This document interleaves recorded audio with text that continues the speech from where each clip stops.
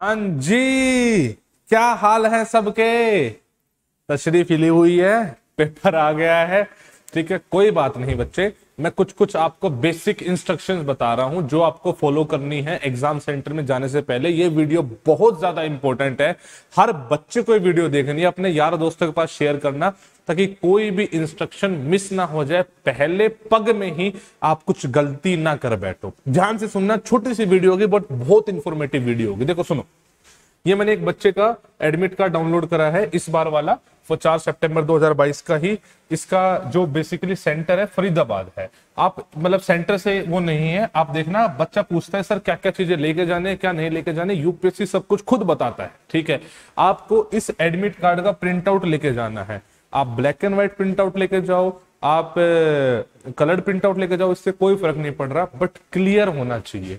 आपको print out लेके जाना है, इसके अलावा आपको ओरिजिनल फ़ोटो आइडेंटिटी कार्ड लेके जाना है। इसमें आप अपना आधार कार्ड लेके जा सकते हैं, आपका पैन कार्ड लाइसेंस कुछ बना हुआ, वो लेके जा सकते हैं। इन, अगर आपके इनमें से कुछ भी नहीं है तो आप स्कूल का आईडी कार्ड यहाँ पे लेके जा सकते हैं। ठीक है जी? और इसके अलावा आपको ब्लैक बोल पॉइंट पेन लेके आना है।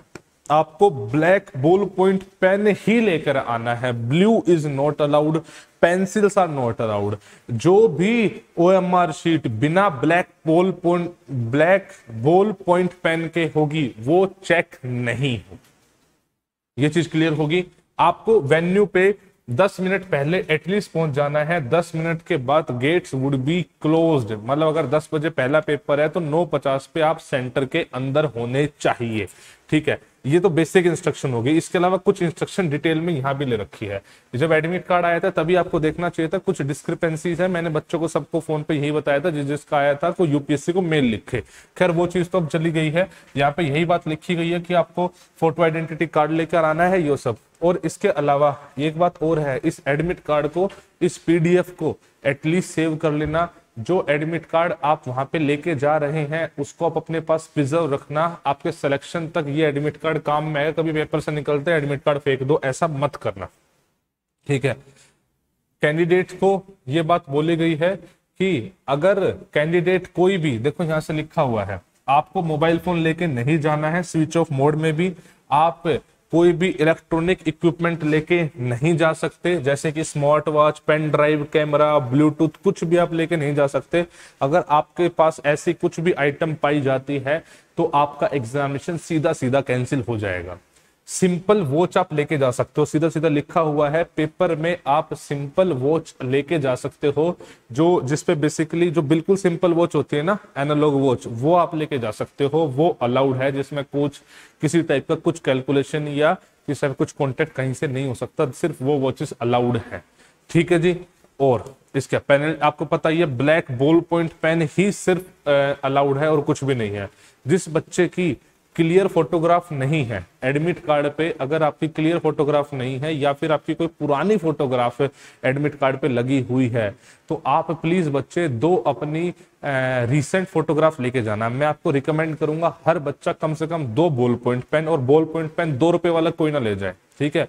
मोटी निब वाला बॉल पॉइंट पेन आपको लेके जाना है, जिससे ओएमआर शीट बनने में इजी हो। ठीक है? और इसके अलावा आप दो फोटोग्राफ लेके चलो, एक आइडेंटिटी प्रूफ आपको लेके जाना है। इसमें मतलब कुछ वो नहीं है। बैग्स वगैरह वैसे अलाउड नहीं होते बट सेंटर में रखने की जगह ही होती है। रिकमेंड करता हूँ, ज़्यादा पैसा ये सब लेके ना जाए। नॉर्मल अपने बेसिक जो आपके आइटम्स चाहिए, सिर्फ़ वो लेके जाए। फ़ोन के बिना तो ज़िंदगी अधूरी है तो इसलिए फ़ोन तो आपको लेके जाना पड़ेगा। बाकी और कुछ आप लेके ना जाए, मेरी आपसे खास रिकमेंडेशन है ये। ठीक है? ज़्यादा कुछ आप इधर उधर की चीज़ें ना लेके जाए राइट बहुत बच्चा बोलता है, सर, क्या क्या वैक्सीनेशन का सर्टिफिकेट लेके जाना है? नहीं, बस आपको मास्क पहन के जाना है। बिना मास्क के सेंटर्स में एंट्री नहीं होती है। आप चाहे तो अपना सैनिटाइजर लेके जा सकते हो। That too in a transparent bottle याद रहे, जब आपको ओ शीट मिलेगी, आपको ओ शीट पहले अपनी जो डिटेल्स है रोल नंबर सेट वेन्यू ये सब अच्छे से भरना है। बच्चे हड़बड़ाहट नहीं करनी है। हर साल के मेरे पास एग्ज़ाम्पल है। देखो, इसमें क्लियरली लिखा हुआ है। देखो, यहाँ पे लिखा हुआ है।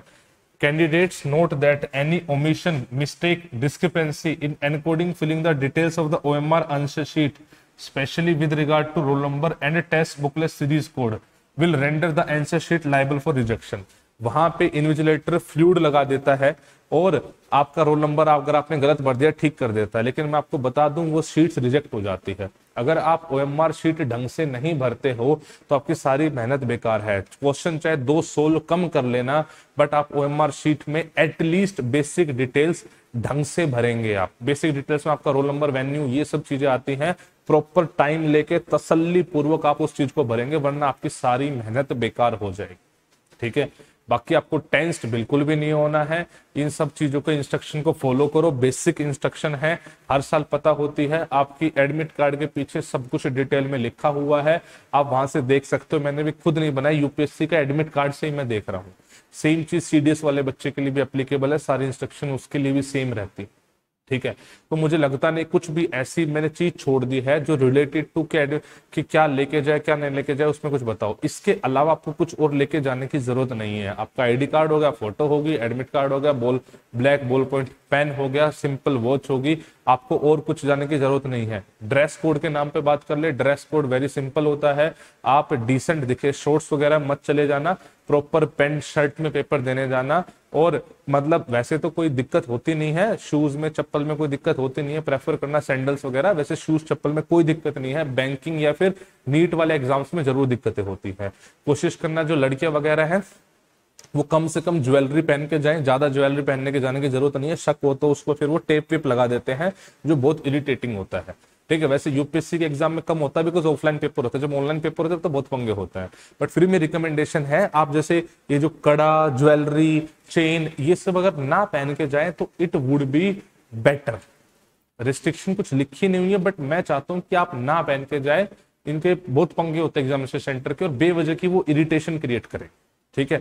तो ये कुछ वो जनरल गाइडलाइंस थी जो मैं आपको देना चाहता था। मैंने बोला था कि एग्ज़ाम से पहले मैं आपके लिए वीडियो बना दूँगा। बिल्कुल परेशान मत होना। थारा भाई सुमित थारे लिए यहाँ पे हमेशा प्रेजेंट है। ठीक है? बाकी बी रिलैक्स चिल करना और पेपर का एनालिसिस आपको Unacademy warriors YouTube channel पे मिलेगा। बहुत ही बेहतरीन तरीके से एकदम सटीक हम पेपर का एनालिसिस करेंगे मस्त तरीके से। ठीक है जी? तो बस बेस्ट ऑफ़ लक है सबको। पूरी लर्न विद सुमित की टीम से। और आप फोड़ के आओगे, मुझे पूरा भरोसा है कि आप लोग इस बार खड़क वासला जाओगे। ठीक है? Best of luck to all of you जय हिंद।